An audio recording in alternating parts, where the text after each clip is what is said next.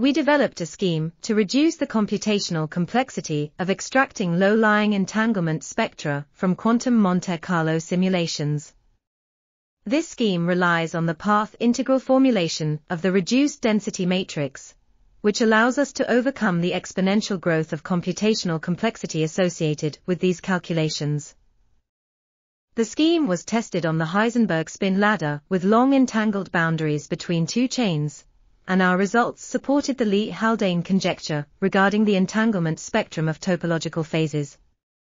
Furthermore, we explained this conjecture using the wormhole effect in the path integral, and showed that it could be extended to systems beyond gapped topological phases.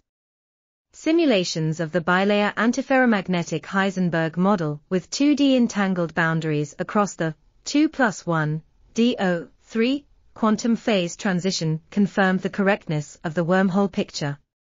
Finally, we noted that the relative strength of the wormhole effect compared to the edge energy gap determines the behavior of the low-lying entanglement spectrum of the system. This article was authored by Zheng Yan and Ziyang Meng. We are RTCL.TV, links in the description below.